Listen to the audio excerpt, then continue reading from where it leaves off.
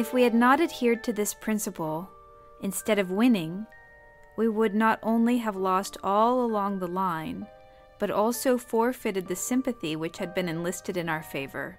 Gandhi from Satyagraha in South Africa.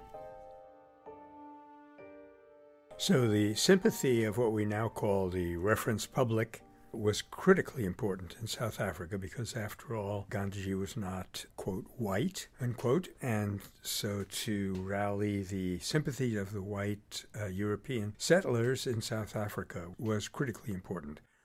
But of course, there's a deeper principle involved, and that is that nonviolence, the principle that he refers to, most importantly, wins sympathy of the opponent, but also can be critically important to win the sympathy of onlookers from wherever they may be and thus create a whole new atmosphere. So that is the future building potential of nonviolence.